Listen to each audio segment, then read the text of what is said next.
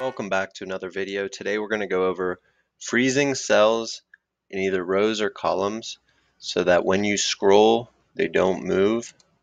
Here's an example of this. So this is just a simple recon with amounts and then this is just a total of the debits and credits.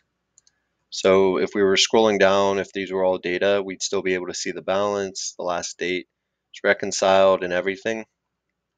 So I'll quickly go over how to do that. We're going to want to click up here to highlight the whole row, then go to view. So freeze, we'll just do one row. So now this is frozen. So now no matter when we scroll, this will always be up here.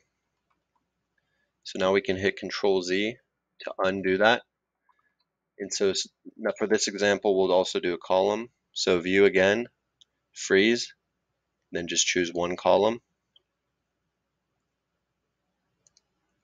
So you can't merge or you can't freeze when something's merged.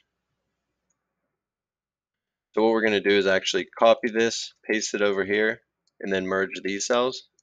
They don't need to be merged, but then we'll delete what's in there. So then whenever we re-highlight this, go back to view, freeze, choose one column. So now if we have a lot of data that went this way, we could scroll and keep the date over on that side. So the date column would never move. All right, and that's all I have for you. Please like, subscribe, comment. I'll do a tutorial. Um, if you want to see anything, just leave a comment on what you want to see. Thanks for watching.